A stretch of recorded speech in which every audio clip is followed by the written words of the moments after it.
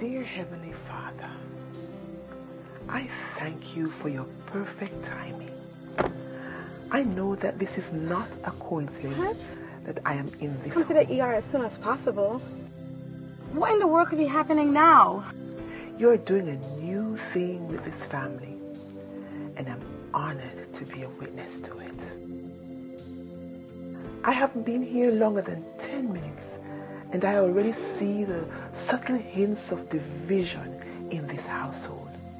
You said it in your word a house divided cannot stand. Short on manpower already? The governor's quarantine just happened yesterday. Lord, I pray that you help them to stand. pretty crazy.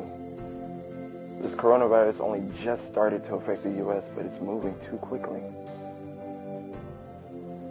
I pray they come into an intimate relationship with you. So what you been up to? You already know I've been thinking about you all day, babe. I miss you. I miss you too. Yeah. Cause I don't know when we're gonna see each other again. You know I'll come see you. Come on, Mom. Okay, sweetheart. Please do not touch anything. And I pray Hello. that you used me Hey, to strengthen their faith in whatever way possible.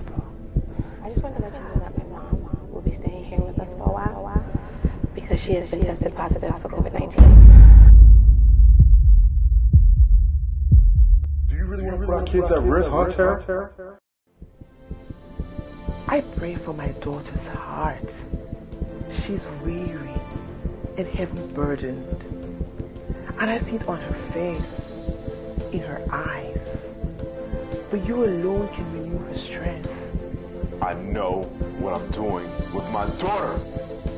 What is it that you need from me, Joe? Huh? Since this is your daughter. Yes, Tara, my daughter. You want to go mother someone? Go find your son who's always locked up in a room somewhere, completely oblivious to life. For yours is the kingdom, the power, and the glory. In Jesus' name.